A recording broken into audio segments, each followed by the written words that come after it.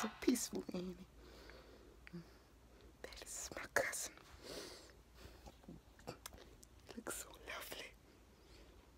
That is so nice.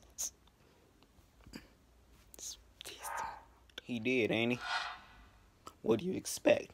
And we laying there so unhappy and peacefully. He died in his sleep, okay? My uncle died in his sleep.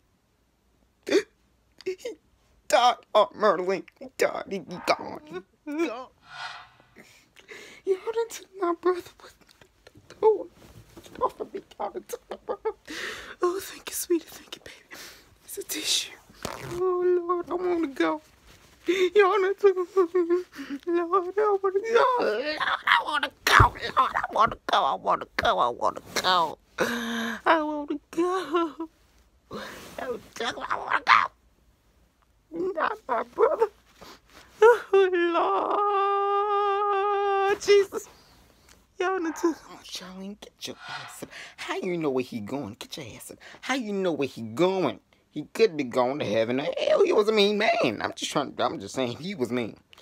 The last family reunion, he told me to go back to his car and never come back. I was see he was mean. How you know where he going? You, you can go here. You can go because at your funeral. I know where you going. well, it's time for God to say goodbye.